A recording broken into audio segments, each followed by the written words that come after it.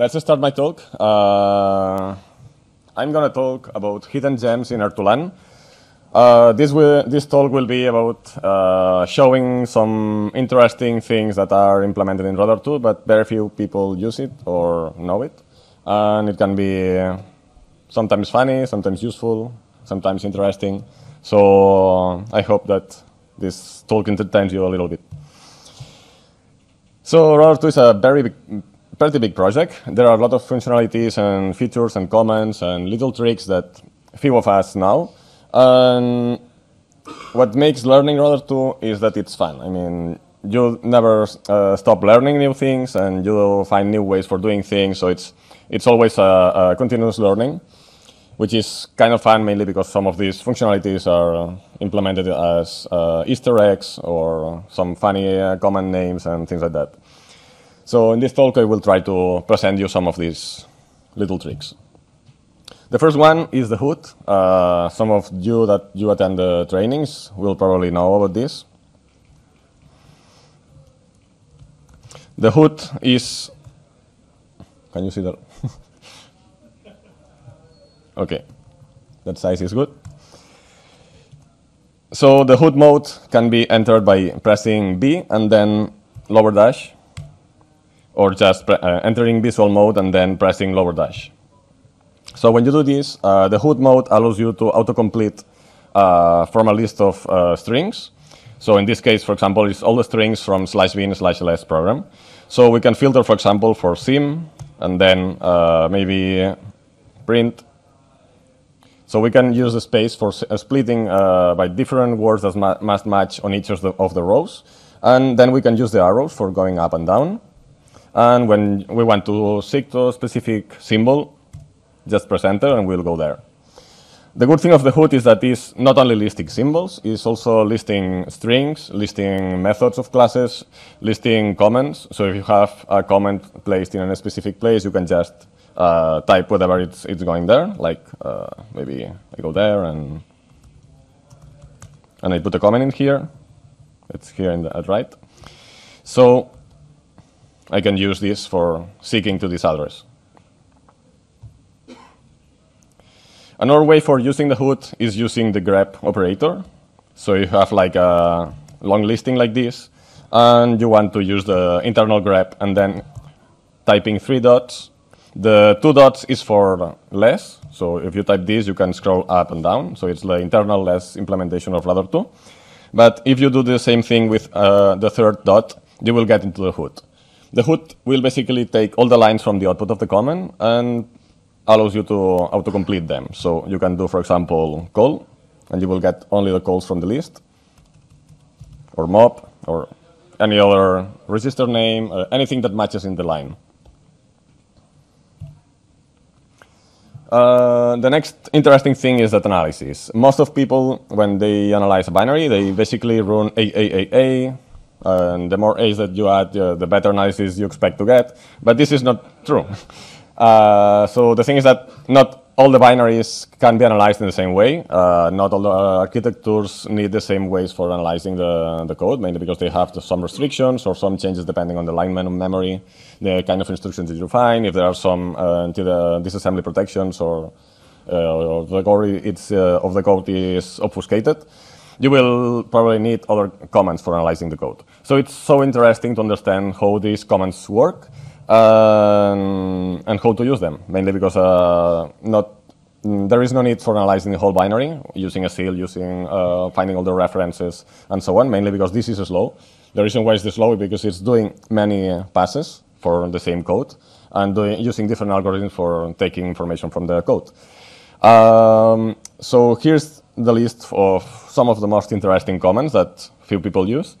AAB is a comment that was implemented by Defragger. Uh, it's, a, um, it's an algorithm that is basically walking for all the executable sections of the binary, looking for calls, and when they find a, uh, a call, it will identify that the destination of a call is uh, the beginning of a function.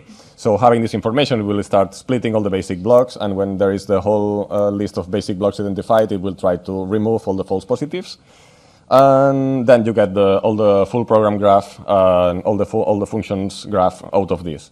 The good thing of this method is that it's very reliable, uh, it's very fast, and it works pretty well. Um, it will probably be the default analysis in following versions, but for now we are not using it yet. Uh, the other command is AAV. Um, the B is for variables uh, or values. And this is used for looking for values that are pointing in, the text section that are pointing to a text section. So for example, if you, if you have a MIPS binary that they, or a bootloader that they have like uh, some D words or keywords hard-coded inside the, the program memory, um, this, uh, this command will basically look for um, aligned values with a value that points inside one of the regions that are executable. And if it matches, it will add an, uh, a reference. So you will see, uh, after running this command, all the hard-coded pointers inside the program memory. Another command is the AAR. The AAR is for looking for references. What it's doing is the same, uh, looking for uh, references in the all executable sections of lo loaded in, in as maps. And when you do, you do this, you will basically get all the cross references for strings, for code, functions, etc. And the last one that I'm going to show here, there are so many more comments, not just this, is the AAE. The AAE comment is uh, a comment that will run the same thing, so analyzing all the executable code, but on using emulation. That, that function will do linear emulation, and if you have, for example, a, a, a call that is using a resistor instead of a, a hard-coded um, destination uh, value, uh, it will basically emulate the code and look for the resistor value at this point. So this is useful sometimes. For other times, you will probably get uh, a pointer to a jump table or something like that. So the um, destination for a register is usually not only one, so there will be more than one. So you probably need to use uh, more than uh, one analysis to identify this. There are several analysis options. Uh, if you check into this command, if you type a.anal. you will get the list of all the variables that can modify the analysis loop. You can press two question marks and you will get the help for all these variables. And, well, some of the most interesting ones are these. The has next option uh, forces the analysis to find a function after the end of another function. So it assumes that after one function, there will be a bunch of nops, a bunch of traps, and then the beginning of another function. Uh, the AQF, uh, it's another analysis loop. It was written from scratch and it's much more clean and easy to uh, modify and, and, and read. Uh, so it's not the default one, but you can enable this and you will uh, use this loop analysis loop from uh, any other analysis command. It's also possible to implement analysis plugins, so you can write your own analysis loop in a separate plugin or just in a script that you run from any scripting language. The jump table option basically identify all the register jumps. So if there is a jump that points to a register, it will analyze the previous instruction and look for the boundaries for the jump table. So jump tables, usually they are, uh, we can, I, can make, I will make a show, uh, we'll show a demo here. Jump tables usually have um, a list of delta pointers hard-coded inside program memory. So AAV will not find anything because it's a negative value, what you will see here. Uh, if you go into the EXA, you will see that there is a table like this in here. You can see that there are a lot of negative values here, like filled by F.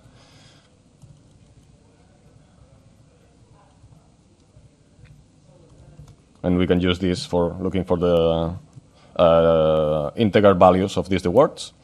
So if we go into the entry point and we see that the code is not analyzed, we have enabled the jump table option and we run AF, the analyzing this function. It will look for all the jump tables and it has identified uh, three jump tables in this function. So we can go into the first one.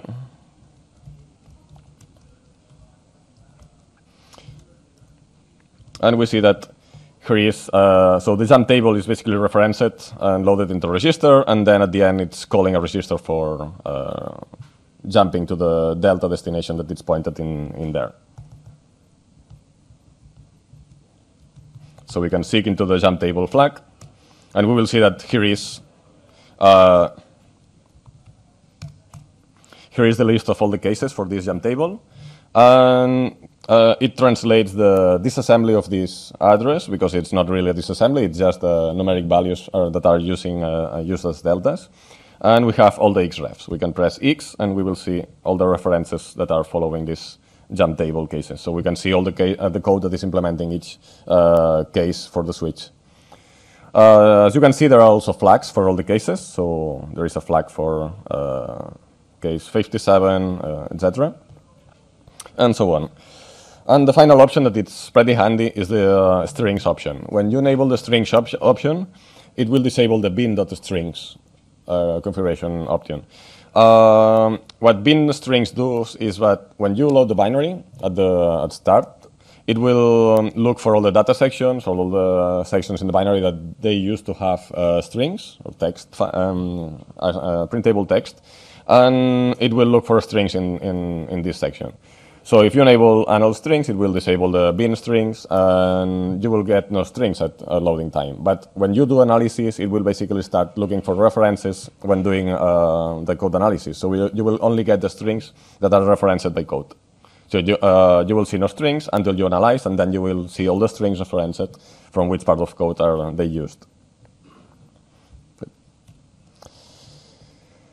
So uh, there is also several visual um, uh, modes. Uh, we have seen the visual mode in here, uh, that it's just pressing B. But if we press the exclamation mark, we will go into the visual pan panels. Uh, the visual panels mode is similar to DWM. Uh, it's a tiled window manager that it's pretty simple and, and, it aims to be handy for people who is using the keyboard or tiled window managers. There is a menu on top that you can choose different options or comments. And you can uh, change the layout for everything, add new panes in here. Each of these panes is basically rendering the output of a comment. So you can type the comment that you want to be re rendered there, and then you get the, the, the window in there. And every time that you make an operation, like stepping or like you are debugging here, you can do all the options here. Uh, it will update all the, all the panels, so you will get the contents of the stack, all the backtrace, or the register values, etc. Uh, this is handy when you have like a smaller font text or or bigger screens, so you can change the pane that you want to focus and and so on. Uh, you can change with tab and then uh, shift tab for going backward.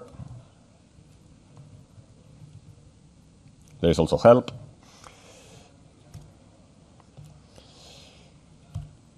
So apart from that, there is also uh, this famous game. I don't know if you ever played it, but it's quite addictive.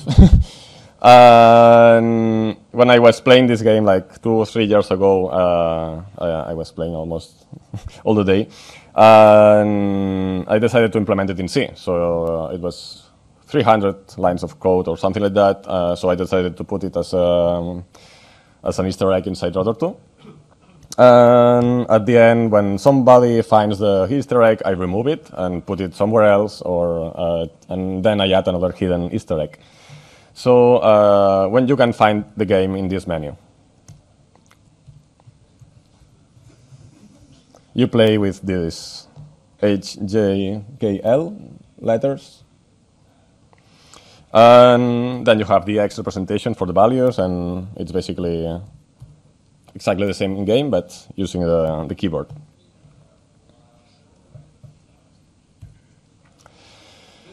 There is some legend or people saying that once we ordered some pizzas using Radare 2. Uh, that's true in a private congress that we organized several years ago, we had uh, like it was 30 people or something like that. So we had to or ask for so many uh, different kind of pizzas. So I basically uh, added a comment in Radare 2 to show all the um, uh, the size of each flag in uh, with progress bars. And I was basically typing uh, comments in order to increase the value of a, of a flag or decrease it depending on how many people was asking for a specific pizza. So this is the way that you can order pizzas for that. Easter eggs. There have been a bunch of uh, Easter eggs in Radare 2. Uh, I, as I said before, I remove them as soon as somebody uh, identifies them. So, uh, and then I put uh, another one in a different place. Uh, I used to, to hide them in, in the commit message, so there, there is no clear message that adding a new Easter egg, so you have to find a little bit. and so anybody knows which is the current Easter egg, which is in master branch? No? Then you have something to do now. This is another option that I added uh, last week. Uh, it's the screen.rainbow. Uh, the rainbow mode basically changes the color of the offset depending on the value of this offset. Uh, this creates a rainbow effect that allows you to remember a, an address without having to remember the numbers. Because usually when, when you are working on 64-bit uh, or something which is not just an embedded device that the memory uh, can be memorized easily, uh, you usually need some help, like adding flags or uh, changing the background color of the area or something like that. So I had the idea of adding this rainbow mode, uh, which is basically uh, changing the color depending on the offset. So you can either, uh, remember that this function is green or there was a, a, a jump table that was in the red zone, etc. Let me show you that.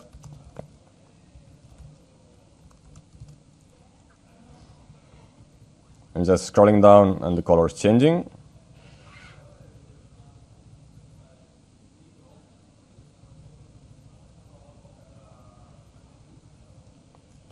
So that's it. Another thing is that you can change the colors of the everything. Uh, and there is also a theme editor, uh, which is implemented inside the visual mode.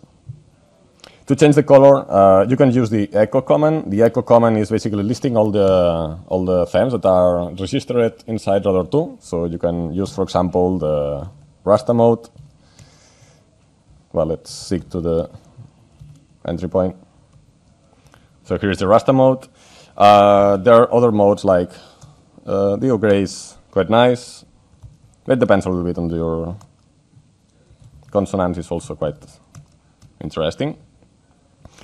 And the thing is that if you want to edit any of these uh, themes, you can press in visual mode uppercase E, and then you can up and down to change which kind of option you want to change. And then you have RGB keys for increasing or decreasing the red, green, or blue colors. So let's change the colors of the function name, for example, and I will start here, and I will change the color of the function name. So I can increase the red color, uh, decrease the blue, and we get this color. We can increase the green, and reduce the red, etc.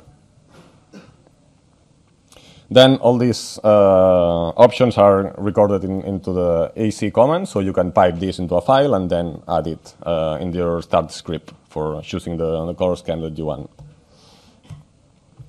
There is also a bit editor. Uh, a bit editor allows you to change the values of a word or a keyword uh, by byte, uh, every bit of, the, of this. To do that, uh, I will enable the um, uh, IO cache in order to, because I didn't open the file as read write, so I don't, and I don't want to modify ls. So I am enabling this, and all the changes that I will be, uh, I will be doing here will be in memory. So if I go into visual mode and then press D for defining, I can see that there are a bunch of options there, and one of them is the edit bit. So I edit the, press the one, and I see this editor. I can use the arrow keys or AGAK for moving around, I can increase and decrease the, the value of the bit, so there are only two values. And you can see that it's printing the character. Uh, well, for now it's only limited to two, but it will be probably incremented to, uh, to three values at some point uh, when we support quantum computers. Uh, so you can you can see that there is the instruction that is disassembled there. So it's pretty handy for uh, seeing which instructions are created or which bits you have to change in order to get uh, a specific instruction defined by the disassembler. Then you also see the ESIL expression that is uh, implementing this instruction.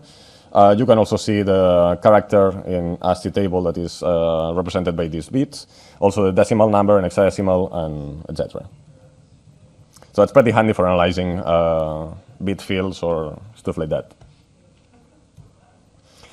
And yeah, we also have Clippy. The Clippy can be accessed using the question mark and uppercase E. And then you can type a message here, like uh, hello world. You can also use this with other commands, like for example, you have FO command that allows you to print the fortune message that it's shown at the beginning. So you can mix those two commands and get Clippy saying, giving you some messages.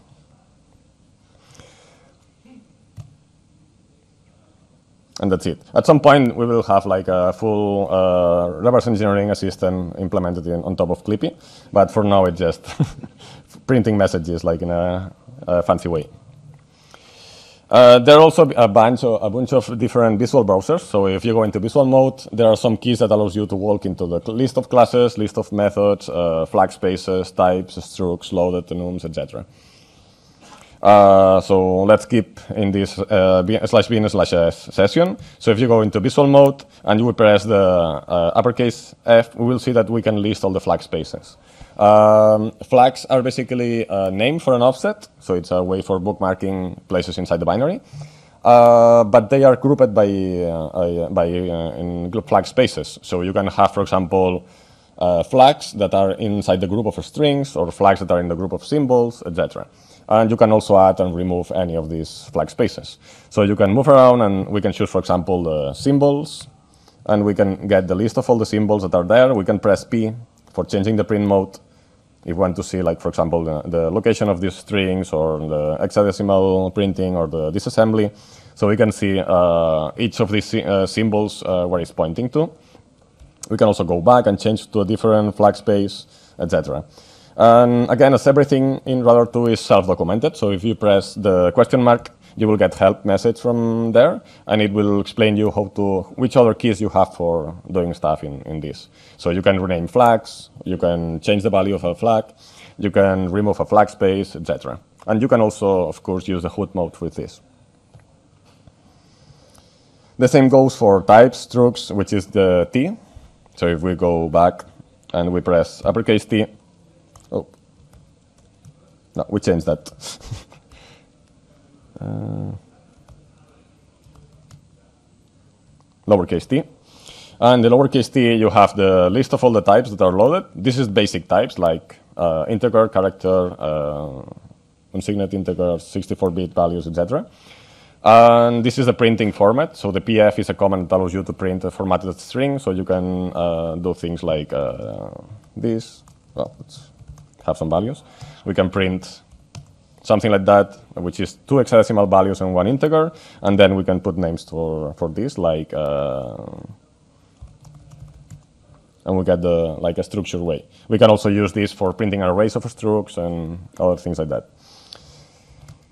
Okay, so going back there, we can uh, press right key for going to the right, and then we have the list of enums, the list of structs, functions, and unions.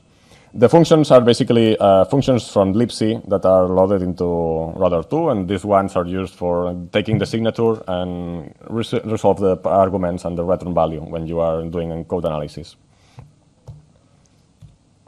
And the same goes for classes. Uh, you can see the methods and so on. Another thing, uh, which is actually, uh, there is more people using it, so I guess that most of you already know about this. It's the package manager that comes inside R2. Uh, R2PM, it's a program, it's a, right now it's a shell script, but at some point it will be a, a program written in C or in Rust. And it's uh, containing and maintaining a database of packages that are usually used by Radare 2 or by Radare 2 users. So let's see how this works. If we press R2PM, we get the help. And if we add minus S at the end, we'll see the list of all the packages that are there.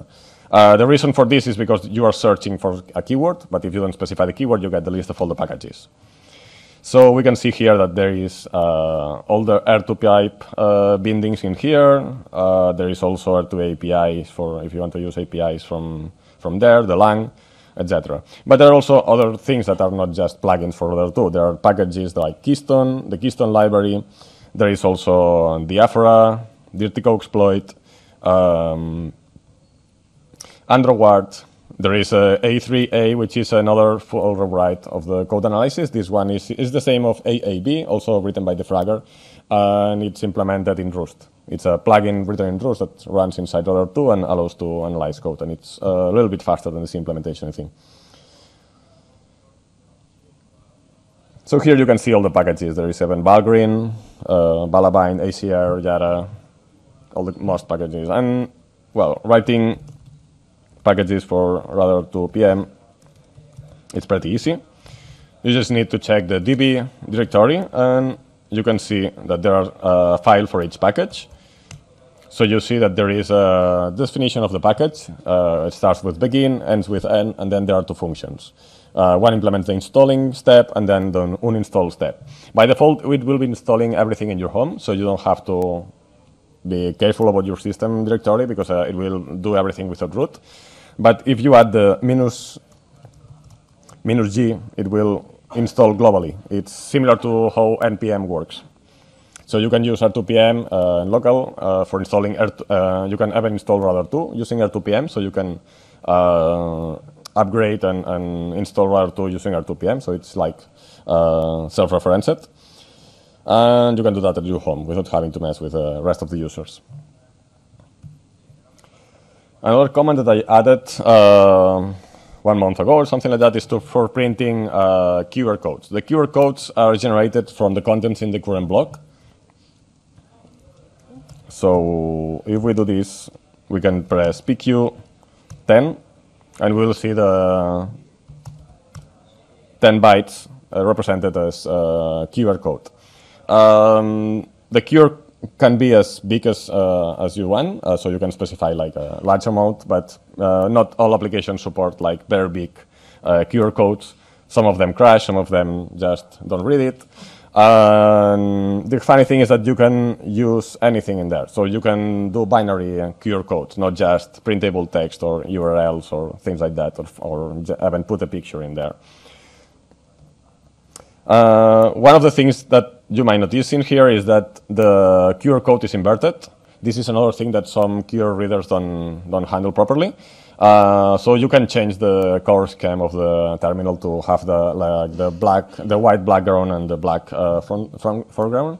Uh, but it's also it will be also implemented at some point uh, to have an option to do that using uh, ANSI codes.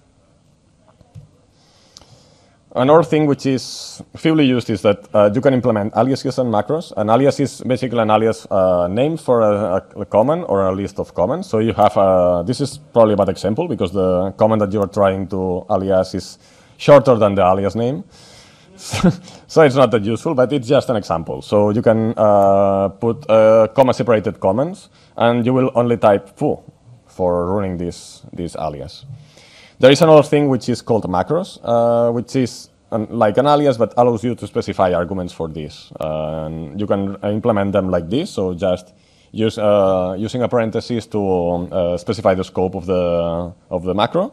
And then you put the name of the macro, the space-separated argument names of, the, of this macro, and then comma-separated list of uh, comments.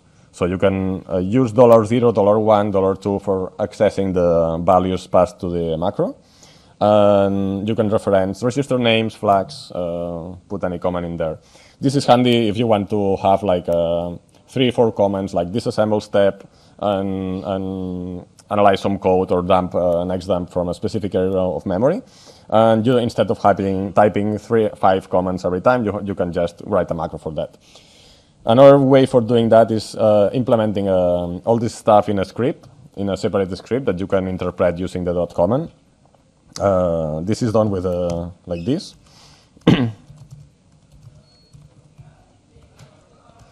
so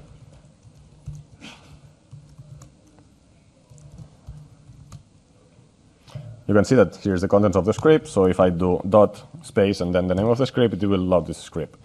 Um, right now, it's loading as commands of Radare 2, but if you do the same uh, in Python, for example,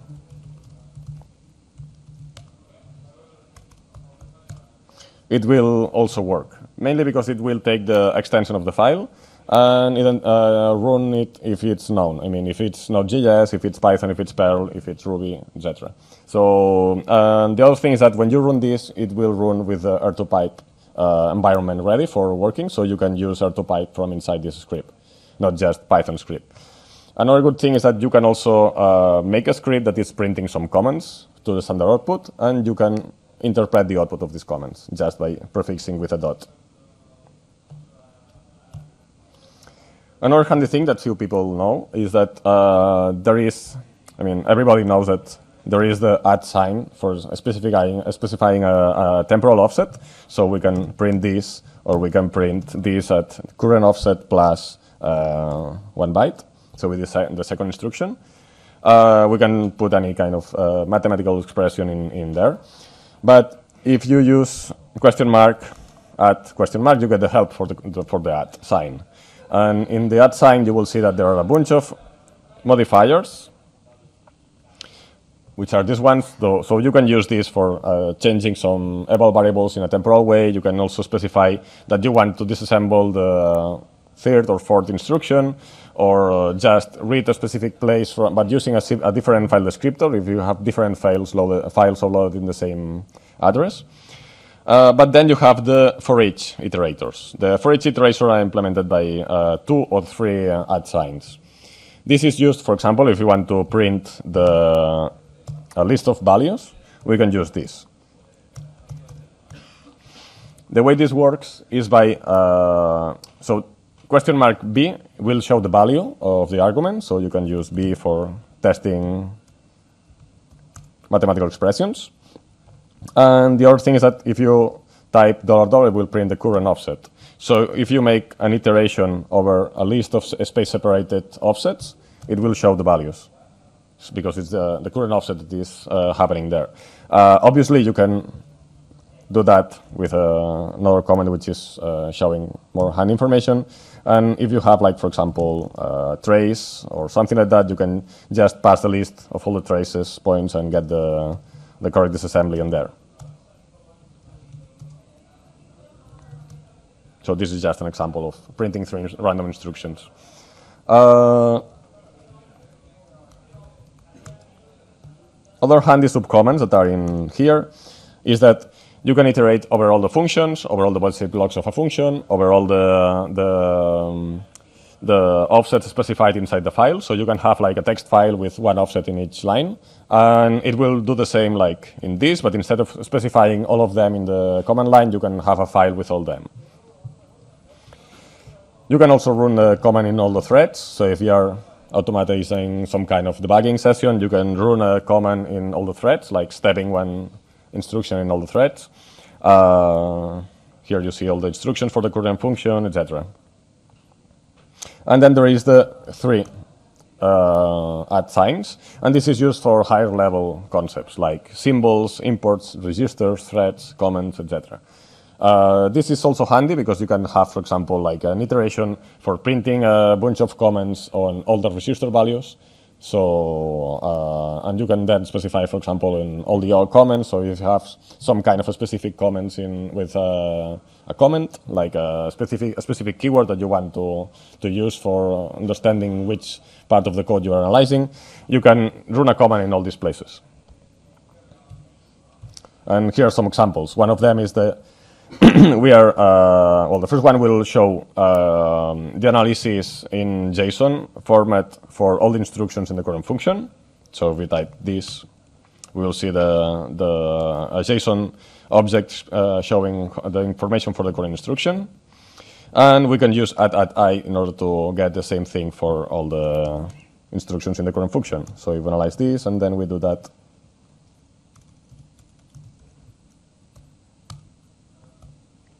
you will get this output. We can also get the, the compilation, pseudo compilation uh, on all the functions. And this is another handy uh, subcommand that allows you to iterate over all the hit results for a search. So if you want to replace all the 80 numbers for, with a 90 one, you can just write hexadecimal 90, which is an expert, not an hexadecimal number, and then you say at at in order to iterate over all the search. So you have all the search subcommands available in there, so you can use all of these.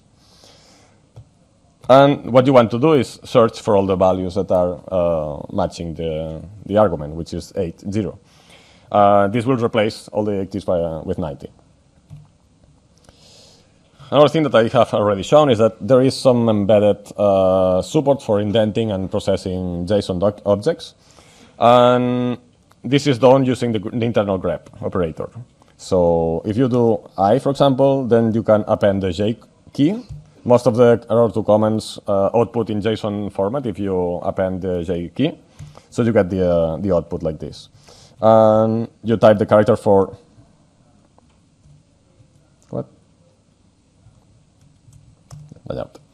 So you type the, the internal grep, and then you can open and, and close the brace. And here you get the indentation with some kind of colors. But the thing is that you can also use the, some kind of query in order to get the value, a specific value inside this object. So in this case, we will like to get the file name, and we can do, do it like this. Which is basically following the path inside the, the, the JSON document. You can also do that with an array. So if there is like an array of objects, you can iterate or get all the offset values inside the all the objects in the array, etc. It's not as powerful as JQ, but uh, it's improving over time. Uh, another thing that I explained before but didn't show any example is that you can interpret the output of a command or a script as other two comments. We can do that. Uh, we can change the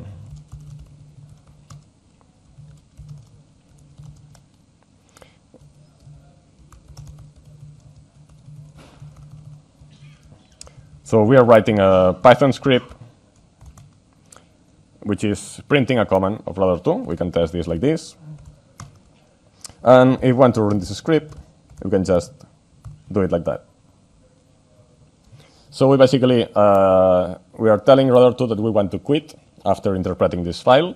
and with two dashes, I'm saying that I don't, I don't want to open any file. So if you press one dash, it will open a malloc for testing things and writing stuff. But if you type 2, it will not open anything because I don't really need anything. So that will run the output of this command. But if I want to interpret this, I can or pipe this into a file and then interpret it, or just prefix it with another dot.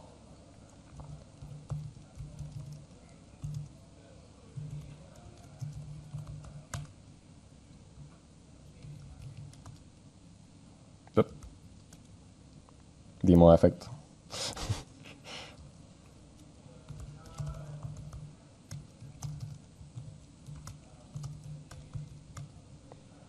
like this. Another subcommand, which is pretty handy when you're analyzing ARM binaries, is the AH, which is for anal hints. The hints are useful for uh, changing some specific options in different instructions. So it's hinting the analysis uh, loop in order to specify that this instruction is thumb or it's uh, ARM32, uh, for example. Or you can also use that for changing the values of the arguments in an instruction. So we can change the immediate value in a number, like this. We can just enter in cursor mode, and here we can change the, the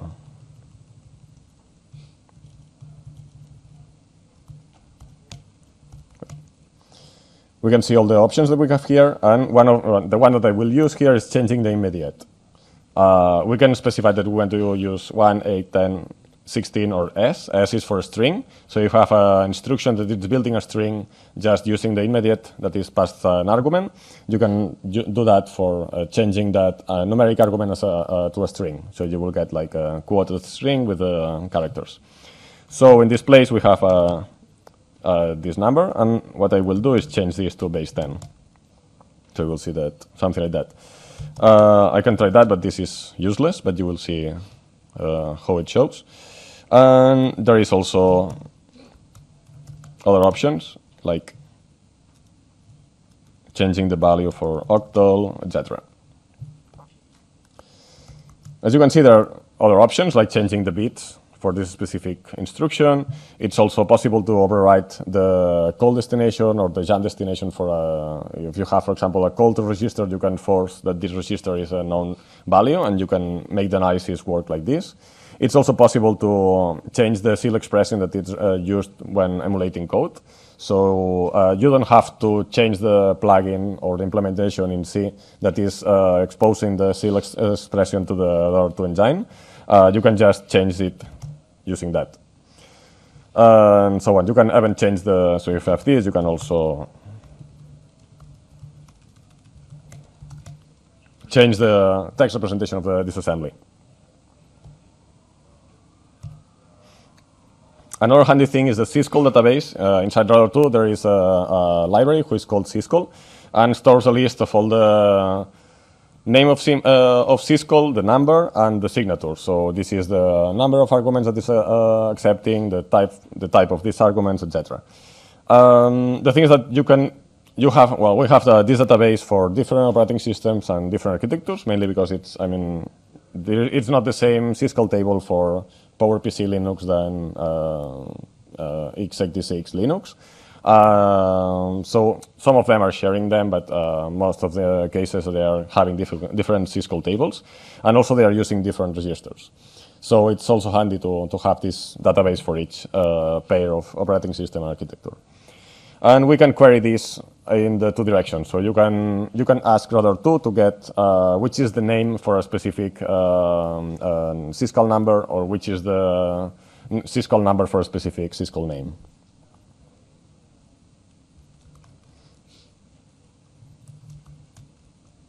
We have these subcommands. So we have, like, for example, AS write. And this will take the current arguments with the current state of registers and show you uh, that, uh, like if you are calling this syscall, you can also specify a number. It's like, well, in this case, it's not because.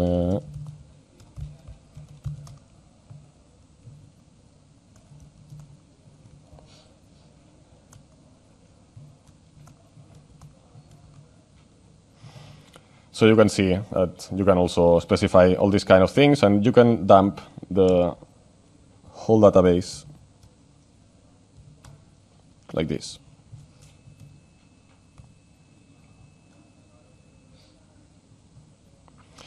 All these syscall databases are implemented uh, as text files.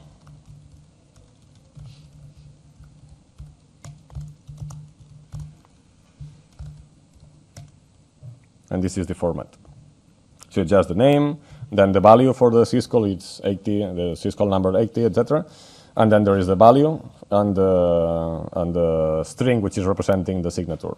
So it's integer, pointer, integer, or zero terminator string, hexadecimal values, etc. Okay, everybody have seen that Radare 2 is able to uh, render a function as graph. But it's also possible to create your own graph. So there is the AG subcommands that allows you to create nodes, create edges, and put contents inside nodes. And you can do that to create your own graphs for everything. So you, you can use, for example, uh, you can write a script which is using R2Pipe to analyze a program or getting some information from different places. And then you can execute these commands from this script in order to create a, nasty art graph. Um, the graph representation is internal, so it's not just this STR graph. So you can output this graph in GraphViz mode or JSON or key value output format, etc. So let's make an example here. Uh, you can create a new node. You, you have the script here. And then we can create edges from foo to bar and another edge from foo to co.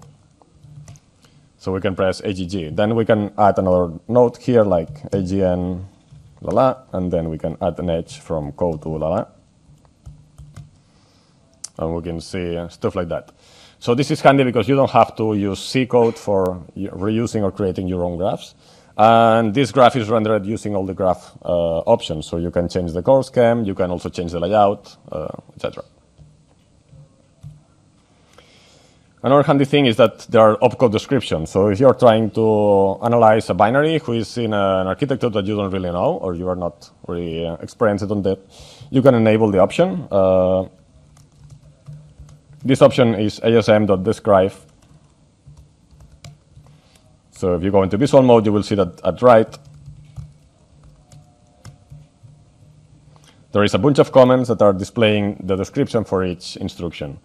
Uh, the funny thing of this is that uh, it's pretty easy to extend that. So you can just go into the ASMD directory and you have like a text file for each architecture.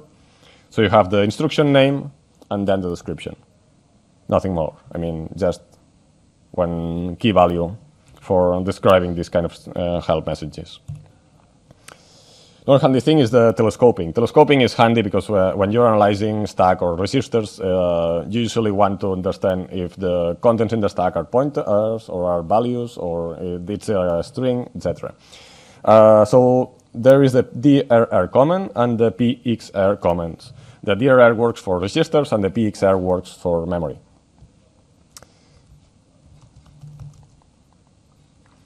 So if we do that in here, we will see that there is nothing useful because it's basically only showing that here in this address there is a program counter, but I'm not, I'm not debugging right now. I'm just opening the file in plain text. So if, if I open, oh, I have the build. it's half patched. So uh,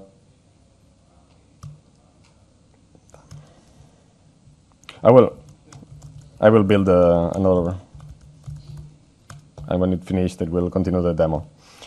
Another thing that you can do is emulation. Uh, you can do emulation for uh, different parts, and there are many commands in Radare 2 that allows you to emulate code uh, without having to uh, modify memory or anything like that, because it's catching all the contents of that. And many of the commands that are implemented in the debugger are also implemented in, in the, the uh, emulator. So you can use, for example, the ASU command to emulate until specific instruction. So it will do a stepping, changing the values of resistors and so on, but it will stop at specific offset. It's like setting a breakpoint, continuing unsetting the breakpoint, but it's much more handy. Um, there is th the same thing goes into the debugger. So if you use the DCU command, it will continue until specific address. And another thing which is pretty handy is the asm.emustring, which will only catch the string references using emulation. Uh, let me show you an example.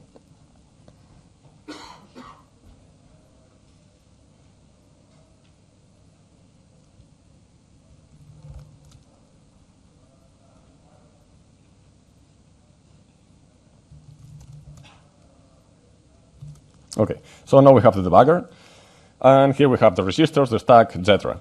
If we use the PXR at RSP, we'll see the telescoping of the contents in the stack. So the color means the, if it's executable, if it's green. If it's data, it's in red. If not, it's a value, like a unknown number.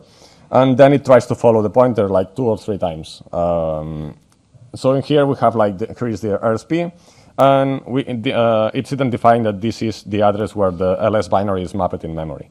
And it also says that it's a section which is in read and executable uh, permissions, and it shows which instruction is in this address. Also, then we have other things, like for example, here we have a pointer of data, which is pointing to a string, which is in read-write mode, and this string is the slash bin slash ls. We can, as you can see, that there is some more text in there. We can also continue until the main or the entry point of the binary. And we can also see that the stack has changed, so we can see the contents that are different here. And we can also do the same with registers, pressing the RR, and it will be telescoping all the values of all the registers. So let's go into the ASM emulation. So it, we enable this string with option,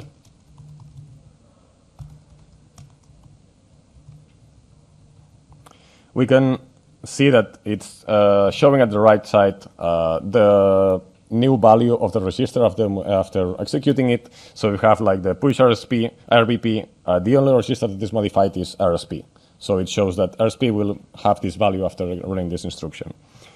And the funny thing is that we can see that uh, there are some string references or pointers that are resolved for registers. So if we go down and we find the jump to a register, we will see uh, we can see the value of R RCX in this address.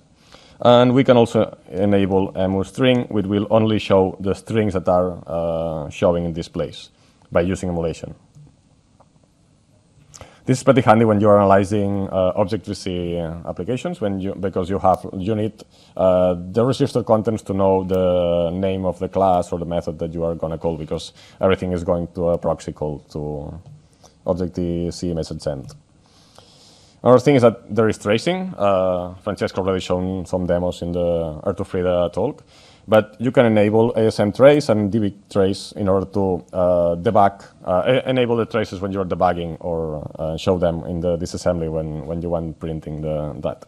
So we enable the tracing, we can enable the tracing in the disassembly, and we go into visual mode, and we see that there are these numbers in here, and we go into the program counter and we start stepping. We'll see that there is a number which is incrementing. The first number means uh, the number of times that this instruction has been executed, and the second one means uh, the order of it. So uh, we'll see when you go into a loop, hopefully soon. So here is a loop. And you can see that you're stepping and how many times this loop have been executed. You can also print uh, the whole trace, uh, like in a linear way, and you get like a linear disassembly of all the whole execution. You can also append the register state for each uh, trace, etc. It's also possible to script using native languages. It's not just a, a, a monopoly, a monopoly of the dynamic languages to, to be used as scripting languages. Uh, so you can use C, you can use Vala, uh, you can use Rust, etc. But uh, probably these two languages are probably more, more handy. The way that this thing is done is because the, when you use the hashbang um, C, it will use the C compiler to build the code that you are typing, generate a shared library, load it into Radare 2, and it will resolve, be able to use all the symbols that are uh, loaded inside Radare 2. So you can use all the C API of Radare 2. Uh, the good thing of using Vala is that you can do the same, but you have some checks because you have some VAPI which are describing the APIs and how to use them. So it's harder to, to make mistakes when you are typing these kind of things. Also, um, when you are scripting like this, you need uh, an instance. I mean, you need a way to communicate with, uh, I mean, you don't want to run a printf in C. You want to do something more handy. And this is done like this. So when you are uh, writing the, the script, you can, this is in Vala, for example, you can type using Radare to import all the APIs of Radare 2 in, in, into Vala. And then you can, you have to define the entry point and you get the core instance. So this is the instance of Radare 2 that will be uh, uh, allowing you to access all the information of the current session. Uh, this is an object, and this object have methods. So you can type core.cmd in order to run a command, or you can have core.bin to access all the binary library and all the methods for analyzing the or getting information from the binary. You can also use the disassembler inside, etc. It's it's everything like if you do it statically, but you are doing, doing it like in at runtime because it's building and running the script uh, in line inside Radare 2 by loading the shared library. And after that, it will unload the library. The problem with that is that if you make a mistake or you pass the different or invalid arguments, it will probably crash. And if it's crashing, uh, you will probably um, need a way for handling this uh, segfault in, in the host site. So another funny thing is that uh, there is R2 preload, which is a way for preloading R2 inside any process. Uh, Francesco has shown how to do that using Frida. Uh, so you can use R2 Frida to inject um, uh, R2 inside any process. And if you send a signal, uh, in this case, well, is the seal uh, user one, sig user one to the process, you will get the shell to the into the process. So in the command line that you have executed the program, you get the radare2 shell. And then you have a bunch of commands in order to list all the sections. The, you can read, write memory, you can modify, you can disassemble. I mean, you can do everything from inside the same process. So the program execution will be stopped, but you get a shell. And when you close the shell, so you press quit, the program will continue running.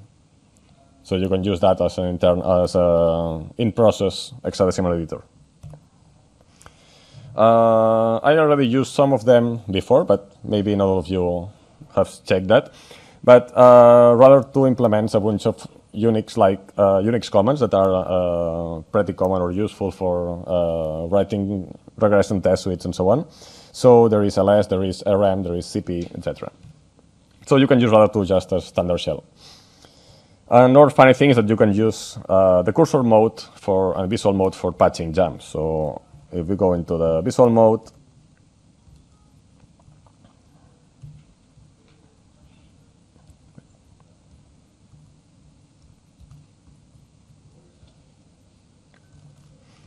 just go into there, enable catch, And we'll modify this jump. So we can go into cursor mode and we press uh, plus and minus sign. We can increase and decrease the value.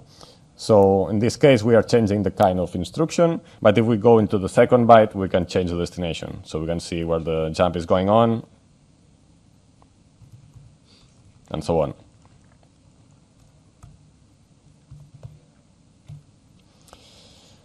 Now we have the OMFG comment, but there are also another bunch of funny comments that I comment, comments that, that you can run inside Radare 2. There is the what the fuck, lol, eta, when, etc.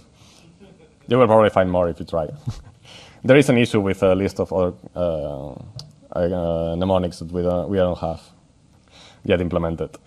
Uh, it's also possible to show data statistics. So using the p equal uh, e, we've got the entropy computation of the current section, or the whole binary, depends how you load the binary.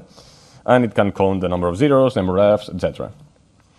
There is a navigation bar similar to other tools that are uh, allowing you to scroll fast inside the binary. This is using the p uh, dash command.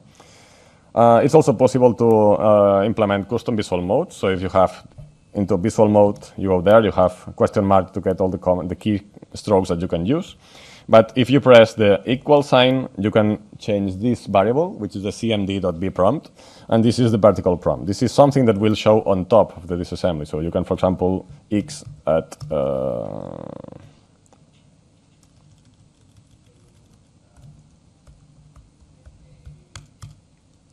we can scroll around and we get always the XDump in the top side. We can also type pipe, and if we type pipe, we get the, the column prompt. The column prompt uh, allows you to change something that will be shown at right. So we can put here like maybe the list of registers.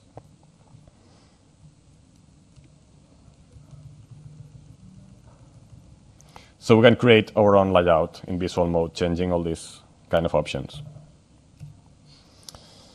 Uh, it's also possible to have external windows showing different comments. Uh, you can start the web browser using the uh, equal h ampersand. Equal is for uh, comments that are interacting with remote uh, instances of Radare 2 or starting like an internal GDB server or things like that. And then you can type the ampersand at the end to run this thing in background. So will, you will keep having the shell of Radare 2, but there will be a thread in background running the R2 comment that you uh, type in the, in the other session. So you can type this in another session, you will get another Radare 2 shell, uh, but abstracting all the commands that are running to the other server. Is, it's also possible to compile uh, X, and X is basically uh, something that is self-contained and can run anywhere. And this is used for writing payloads for exploits. And you can do that in C uh, using the ragg2-cc uh, command, which is basically uh, calling the C compiler using some specific flags to generate uh, table code and, and, embedding the syscalls instead of doing uh, libc function calls. So there's a bunch of include files that are modifying the, the way that the compiler will generate code. Uh, and it works with LLVM and, and GCC. But there is also an internal working progress language, which is a bit smaller and allows you to create some more uh, low-level things, which is called R.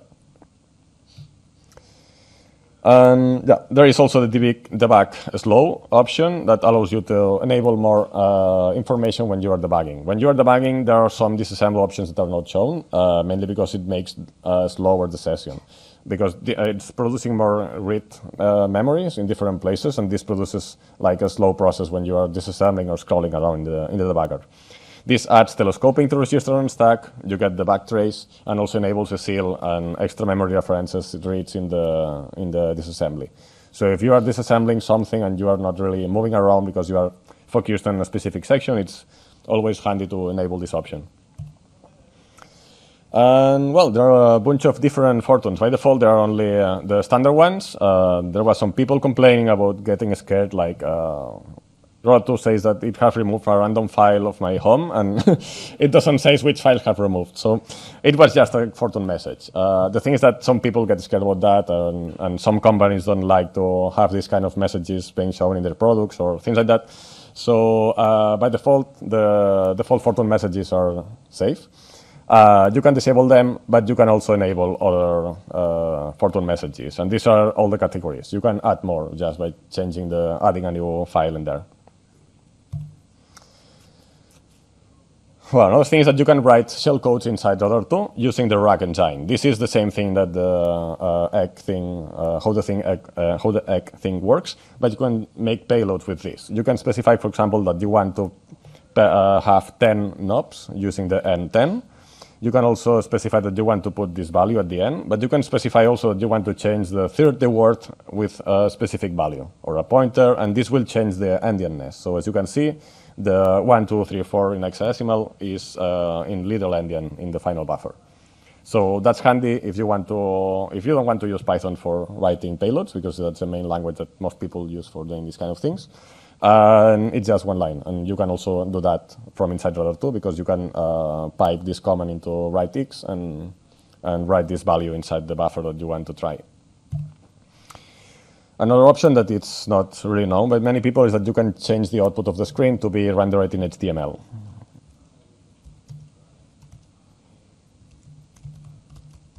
If you enable this and you do that, all the color escape codes will be changing by uh, font uh, color uh, tags in HTML. So you can pipe this into a file. And if you open this file, you will get in the browser the, the rendering in, with the colors and keeping all the the indentation and so on. This, this option is used by the web uh, UIs. and finally, there is R2Pipe. But I mean, most of you, I guess, you know what R2Pipe is, uh, but I will make like a quick uh, explanation. It's just uh, the simplest interface for uh, scripting Radare 2. It's just an API of one function, which is CMD. Uh, so you, this function accepts the, the command that you want to run, and you get in, in the result the output of this command. The good thing of this is that it's pretty easy. It's simple to maintain and, and to extend, and it, there is support for so many languages. But not only this, because there is so many ways to interact with Radare2. You can use R2Pipe using a spawn method, so you can spawn a new instance of Radare2 from the scripting language that you are using, and then it will create a pipe to communicate with the process. Uh, it's also possible to use this through HTTP, through TCP, but also there is the dlopen method, which is basically resolving all the methods inside the C implementation of the API in, inside Radare2 to call core open, uh, core CMD uh, string, and then uh, core free. So you can use R2Pipe in a way faster way. Uh, let me show you one of these implementations.